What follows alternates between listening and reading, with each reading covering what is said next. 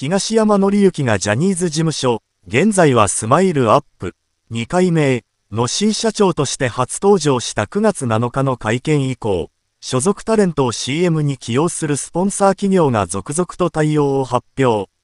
花王やライオンが同事務所所属タレントの出演 CM を放映中止とした一方で、スノーマンを起用する藤谷やカトゥーンがイメージキャラクターを務める FT パートナーは、9月より彼らが出演する新 CM の放映を開始するなど、企業によって判断は様々だ。また、キリンホールディングスや日本マクドナルドをはじめ、多くの企業が現行の広告契約の期間満了後は、契約を更新しないといった方針を発表。ただ、満了を迎える日にちについては一般的に社外費とされており、スマイルアップ。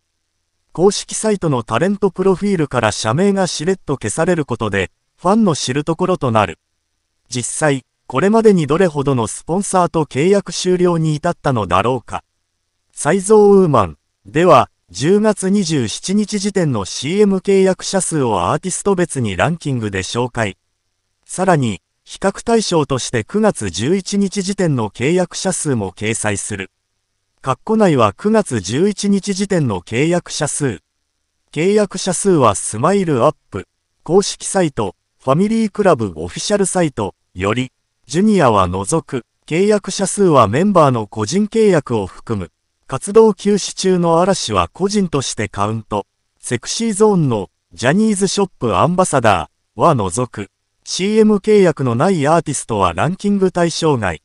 1位スノーマン15社。9月11日時点では16社。ティファニー消失。2位セクシーゾーン11社。11社。3位木村拓哉9社。9社。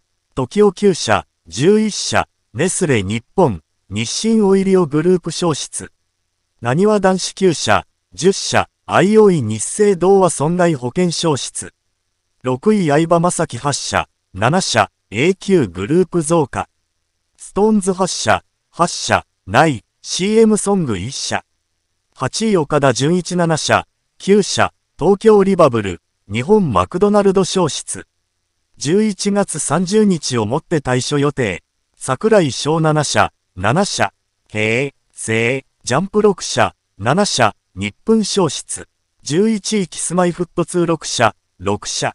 ウエスト、6社、6社、ない、CM ソング1社。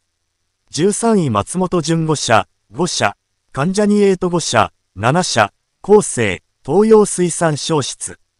15位生田東馬4社、4社、カトゥーン4社、4社、17位 20th センチュリー3社、3社、トラビスジャパン3社、3社、19位風間俊介2社2社、20位 King & Prince 1社、1社、ふぉ〜ゆ〜から1社、1社、うさぎオンライン Tenth Anniversary 増加 KinKi Kids ゼロ社2社、プレミアアンチエイジング、日本マクドナルド消失。